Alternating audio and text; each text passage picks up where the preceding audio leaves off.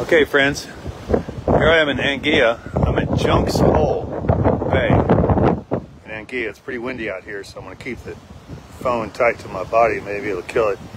But there is a piece of Starship 25 heat tile right here with the rest of the junk at Junk's Hole.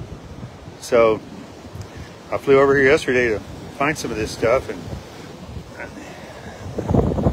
it was a complete long shot, but there it is. This one must have some oil on it. It's got kind of a sheen to it. Or maybe that's something from the uh, the coating breaking down. You can see that rainbow on it. But uh, the, the coating's really toasty on this thing. It was doing 15,000 miles an hour when it was flight terminated, exploded over Puerto Rico. And uh, this piece, it's an edge piece of some sort you can see the curve on it. It must have been right over the edge of the wing or something. Uh, so it's pretty much a whole piece. And pretty excited about it. Yeah.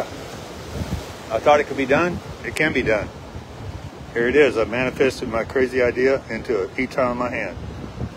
All I had to do was jump on an airplane all day and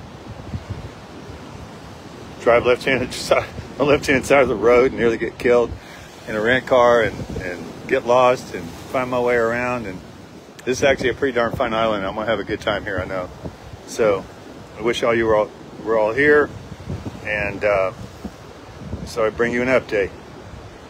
Starship 25 Heat Tile Search Anguilla goes on.